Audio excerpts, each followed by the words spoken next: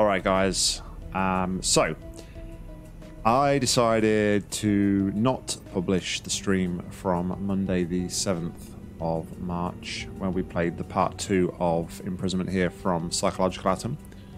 Um, it was a very frustrating stream for me. I was, my head just was nowhere, and yeah, I, I wasn't happy with the stream as a whole, so I decided not to publish it on YouTube. Instead, I'm going to attempt to tackle this in a video and just for context, I'm not going to be doing live com. I'm just going to try and focus on the task and see what I can do. In addition, for anybody who was at the live stream, I've taken back the map to the state where we've just unlocked the second cube. So this is where we were at the start of the live stream on Monday, the 7th of March. So, um, yeah, I'm going to jump in and we're going to see what we can do.